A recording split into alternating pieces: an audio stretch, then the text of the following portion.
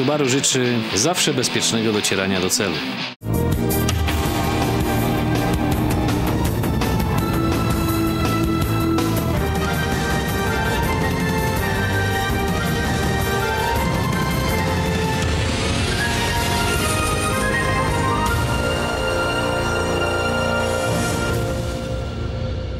Jeden z widzów naszego programu, pan Kamil, opowiedział nam dramatyczną historię.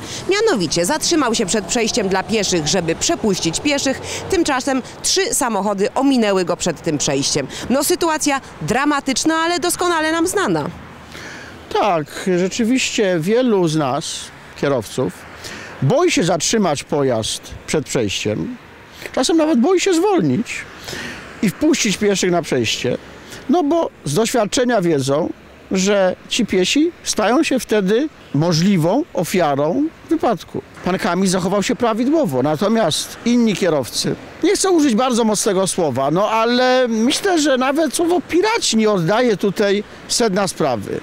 To są osoby, które nie rozumieją tego, że należy po pierwsze ograniczyć prędkość, po drugie rozglądnąć się, żeby nie wyprzedzać w tym momencie innych pojazdów, po trzecie uważać na pieszych. Nie rozumieją tego i bezkrytycznie jadąc doprowadzają do sytuacji, która wielokrotnie w naszych ostatnich programach była naocznie pokazywana. To znaczy pieszy na przejściu dla pieszych albo ginie, albo też jedzie do szpitala z powodu obrażeń, które w tym wypadku odniósł. Jesteśmy znów na Armii Krajowej z uwagi na mail od pana Kamila, który zatrzymał się przed tym przejściem. Zbliżam się do niego i w tym momencie nie zwiększamy prędkości.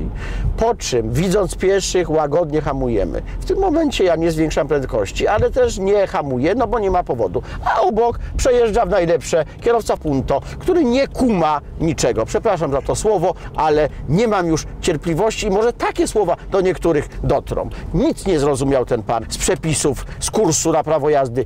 Nic. No to cóż, po prostu pan Kamil i niektórzy inni kierowcy wycofują się z tego właściwego podejścia, nie zwalniają, tym bardziej się nie zatrzymują, tylko jadą, raczej zachowują się w ten sposób. No jak pojadę i to szybko, to ci piesi na pewno nie wejdą, no a potem sobie może jakoś bezpiecznie przejdą, jak już wszystkie pojazdy przejadą. Tylko do czego to prowadzi, szanowni widzowie? Ano do tego, że piesi w związku z tym nie szukają przejść dla pieszych, no bo po co, jak tam się wystoją godzinami, tylko przechodzą gdzie im najbliżej, bo i tak muszą przepuścić wszystkie pojazdy. Zrobił się węzeł gordyjski boimy się zachowywać prawidłowo, bo inni zachowują się nieprawidłowo. W związku z tym zachowujemy się nieprawidłowo. No i kończy się to tym, co pokazujemy w ostatnich programach nagminnie, ale nie odstąpimy od tego tematu, dopóki, szanowni kierowcy, nie opamiętacie się i nie zaczniecie się zachowywać właściwie przed przejściem dla pieszych. Nie możecie nam wywrócić prawa drogowego, nie możecie nam wywrócić właściwych zachowań musicie zmienić swoje złe nawyki. Kierowców, którzy jeżdżą przez skrzyżowanie z ulicą Śląską, alejami, nie udało się przekonać, żeby zachowywali się poprawnie. W związku z tym zamontowano tam światła, sygnalizację świetlną, która wreszcie zaczęła działać. Ale pojawiły się nowe problemy. Mianowicie piesi narzekają, że zbyt długo stoją na czerwonym świetle, a kierowcy narzekają oczywiście, że korki, no ale sami sobie moim zdaniem zgotowali ten los. Dokładnie.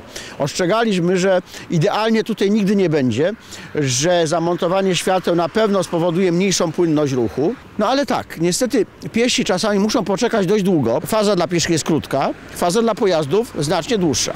Piesi często nie wytrzymują i próbują przechodzić na świetle czerwonym, szalenie niebezpieczne. Jest jeszcze jeden problem, przesunięcie przejścia dla pieszych, które kiedyś zostało dokonane w celu poprawienia bezpieczeństwa na tym skrzyżowaniu, myślę o tym przejściu przy Śląskiej, spowodowało, że niektórzy kierowcy uważają, że to przejście jakby nie należy do tego obiegu sygnalizacji świetnej, jest ono troszkę oddalone i ni stąd, ni zowąd zatrzymują się przed przejściem, a piesi mają czerwone. Takie są tego reperkusje. No, można wszędzie zbudować sygnalizację świetną, tylko czy w tym kierunku należy iść? A jeszcze jedno pytanie. Co w tak zwanym międzyczasie? Zanim nie ma tej sygnalizacji świetnej, czy ci piesi na przejściach dla pieszych muszą ginąć albo odnosić obrażenia? Co z Zakopianką? Pewnie tam za chwileczkę pojedziemy. Także jeszcze raz kierowcy Przejście dla pieszych o ruchu niekierowanym wymaga od Was takiego zachowania, żeby piesi mogli bezpiecznie przez to przejście przejść. Przenieśliśmy się na Zakopiankę w związku z listem od pani Moniki, która pisze, że jeździ tędy bardzo często, jeździ z Krakowa do Nowego Targu i z powrotem i jest przerażona, ponieważ kierowcy na Zakopiance w ogóle nie przestrzegają znaków ograniczenia prędkości. Pani Monika czuje się wręcz zagrożona. No, tak jest na tej Zakopiance, naprawdę? Tak, tak. Czujemy się nieswojo. Ci jeżdżący poprawnie czują się nieswojo. Czują jakby spadli z księżyca. Jakieś inne reguły gry narzucają inni. Narzuca większość te złe reguły gry mniejszości. Takie są prawidła polskiej jazdy. To jest nie do pomyślenia w Norwegii, w Austrii. To nasze nieposzanowanie przepisów, to nasze lekceważenie przepisów. Lekceważenie też jednocześnie innych uczestników ruchu drogowego. Zjazd z Mogilan, tu jeszcze 100 na godzinę, ale za chwilę będzie ograniczenie. Niechętnie tu zdejmujemy nogę z gazu, bo z góry się dobrze jedzie, a jest odcinek prostej, więc wszyscy mistrzowie długiej prostej nadrabiają tutaj czas. Niestety. O właśnie, dojeżdżamy do tego miejsca, w związku z tym hamujemy, schodzimy do tej obowiązującej prędkości 70 km na godzinę i popatrzcie Państwo, co się będzie działo. No i przejście dla pieszych. Na pewno to Seicento zostanie wyprzedzone na przejściu dla pieszych, tak, bez ogródek, bez jakichkolwiek zahamowań. Kierowca tego pick-upa pojechał. Pani Monika mówi też o tych, którzy wyprzedzają na przejściach dla pieszych. Mamy zmniejszyć prędkość w celu nienarażania pieszych na niebezpieczeństwo, również poza obszarem zabudowanym i również tych, którzy zamierzają wejść na przejście dla pieszych pozwólmy tym ludziom normalnie przechodzić przez drogę. O to apeluje pani Monika i apelujemy my w naszym programie. Pieszy generalnie nastawiony na przebieganie, żeby jakoś ujść z życiem, no ale to niebezpieczne. Nie przebiegamy przez przejścia. Możemy się łatwiej wywrócić. No i popatrzcie Państwo, zatrzymał się, no jeden się zatrzymał, drugi pędzi, kolejny no łaskawie się zatrzymał i pieszy przebiegający i dziękujący temu kierowcy. No to jest proza polskich dróg, proszę Państwa. Tak jest na przejściach dla pieszych w Polsce. To skandal. Jak się panu tutaj przechodzi przez to przejście? No teraz wyglądało jakby pan uszedł z życiem. No widzi pani, raz się zatrzyma, raz nie, no i tak trzeba czekać, nawet 5 minut czasami trzeba czekać jak się przejdzie. Teraz jeden się zatrzymał, drugi nie, a jakby przeszedł to by mnie walnął, no i tak jest. Często tak tu bywa? No dosyć często, tam wyżej trochę są też pasy i tak samo jak przed chwilą się jedno auto zatrzymało, kolega chciał starszy, chciał przejść przez drogę, a z drugiej strony wyjechało nagle auto, no i zabiło go na miejscu. No i tak jest, tak jest właśnie jak się zatrzymają, a jedni tak, a drudzy nie. Bo nawet nie widać, że się jeden zatrzymał, a z drugiej strony nie widać, czy się zatrzymał. Myślał, że jest pusto i przeszedł, a tu wyjechało nagle. Jeszcze kierowcy wręcz pośpieszają panią Monikę, tak jakby chcieli ją nauczyć złej jazdy. No, można takie wrażenie odnieść. Pani Moniko, niech się pani nie przejmuje.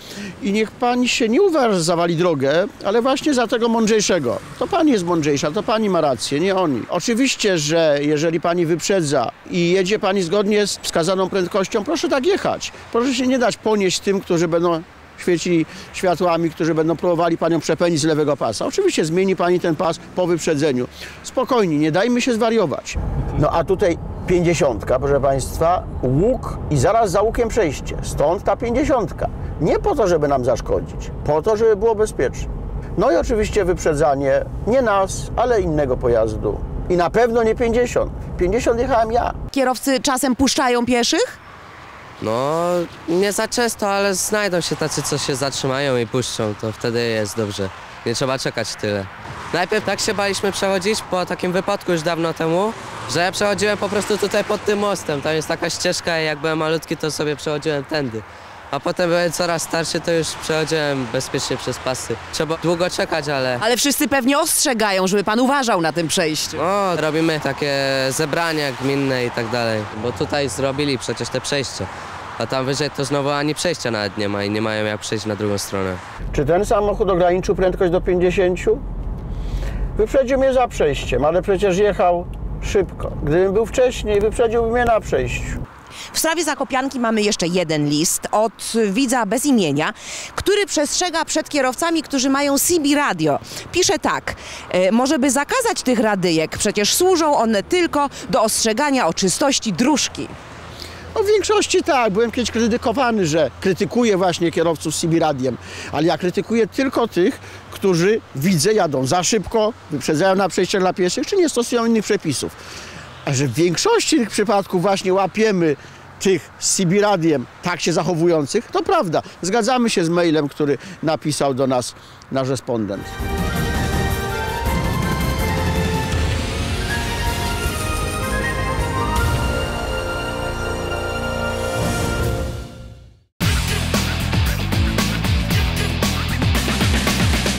Subaru życzy zawsze bezpiecznego docierania do celu.